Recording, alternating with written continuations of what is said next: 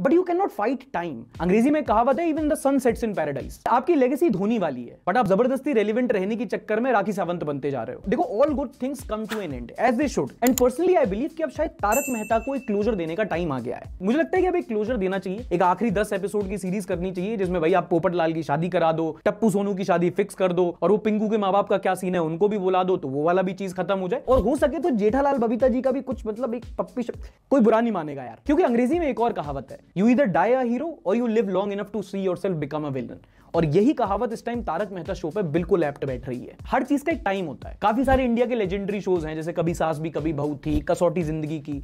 ये इनको क्लोजर मिला था तो हमने तारक मेहता शुरू किया था। अब मेरे ख्याल से समय का पहिया एक बार फिर घूम गया और तारक मेहता को भी क्लोजर देना चाहिए। और लंबा खींचने के चक्कर में इससे पहले शो के धागे टूट जाए। आई बिलीव के शो को क्लोजर दे देना चाहिए। अगर आप मेरी बात से अग्री करते हो तो वीडियो को एक बार लाइक ज़रूर करना। आप तारक मेहता देखना कैसे पसंद करते हो या इस शो के साथ आपकी क्या मेमोरी है?